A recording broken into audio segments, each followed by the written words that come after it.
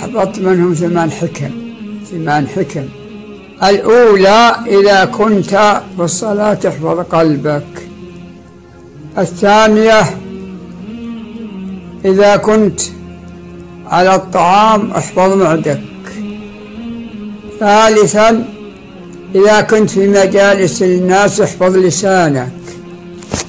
رابعا إذا كنت في بيوت الناس احفظ بصرك. واثنتان لا تذكرهما أبدا. واثنتان لا تنساهما أبدا. أما الاثنتان اللي لا تذكرهما أبدا إحسانك للناس وإساءتهم إليك. الله أكبر. وأما وأما اللذان لا تنساهما الله والدار الآخرة. الله أكبر.